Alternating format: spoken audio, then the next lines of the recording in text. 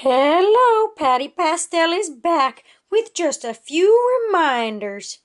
Remember, when you use me, always put me back in my box. That's where I like to stay. Match my colors, so if you break one, make sure white's with white or green's with green. Never, never, ever, ever, pretty please don't lay me on the table. Because if you lay me on the table, I could roll to the floor and then, ah, don't do it.